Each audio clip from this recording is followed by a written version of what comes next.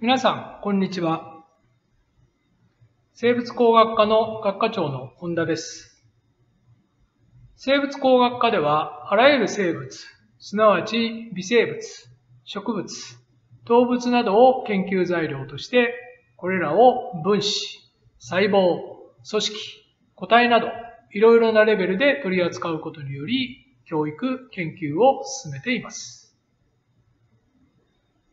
私たちの教育研究目標は、新しい食品や医薬品の開発、健康効果を持つ成分の探索やその利用法の開発、生物の働きを計測、制御する方法の開発などです。つまり、生物に備わるいろいろな能力を有用物質の生産や環境の保全、浄化に役立てるための教育と研究、技術開発を行っています。講義や実験では、このような生物工学の幅広い学問分野に関する知識や高度な専門技術を学びます。そして、社会で活躍できる技術者の養成を目指しています。学科の教育の中で実験は特に重要視しています。新しい学問領域である生物工学分野にはまだまだ分かっていないことも多く、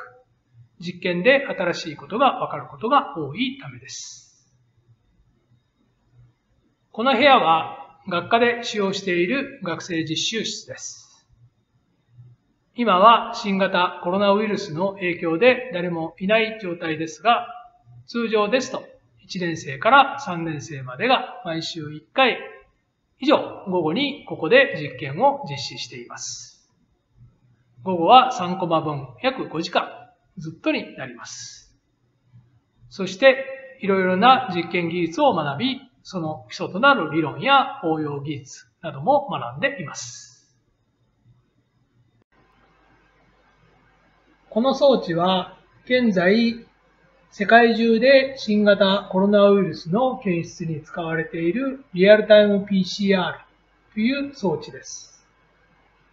このような技術も生物工学科で学ぶことができます。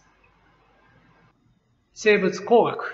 バイオテクノロジーに興味を持つ方々の入学を心待ちにしております。